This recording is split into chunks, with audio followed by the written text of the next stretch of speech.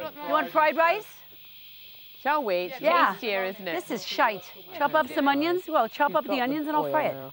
Before we knew it, rice was going on, Janice was frying the rice up, and Cerys was chopping up onions, and we were having a tiny feast. So it won't be to John's Michelin star calibre, but I hope we will manage.